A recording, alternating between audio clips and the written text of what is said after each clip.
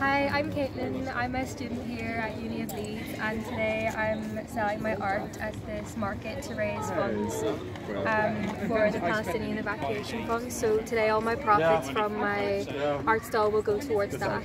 Um, and yeah, I do art markets a lot so I thought why not bring it to uni to raise money for a good cause.